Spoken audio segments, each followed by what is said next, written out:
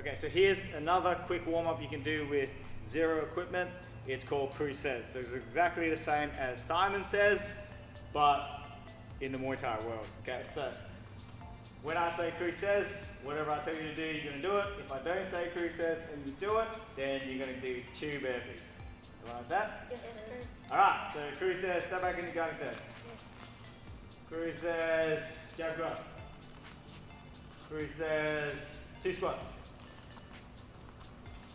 Do a push up. Ah, do a push up. Well done, Jordy. You took the ball. Good. All right, let's go one more time. So Kru says, jab cross hook. Yeah, says, two sit ups.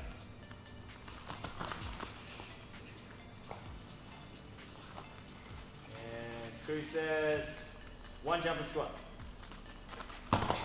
Do a tuck. Oh, pretty good. And that's pretty much how it works.